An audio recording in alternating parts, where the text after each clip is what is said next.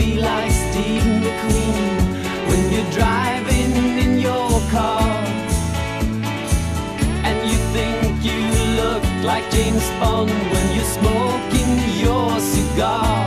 It's so bizarre.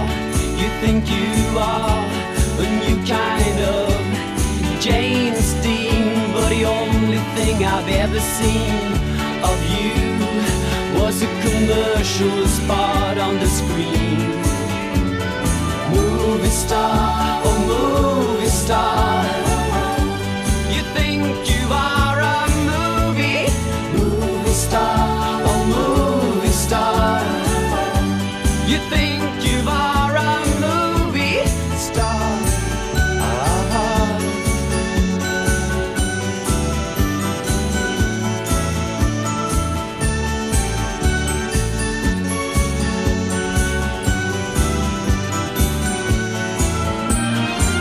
You should belong to the jet set.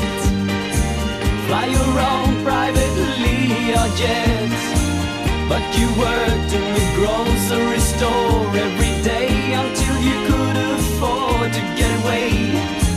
So you went to Sweden to meet Ingmar Bergman. He wasn't there or he just didn't care. I think it's time for you, my friend to stop pretending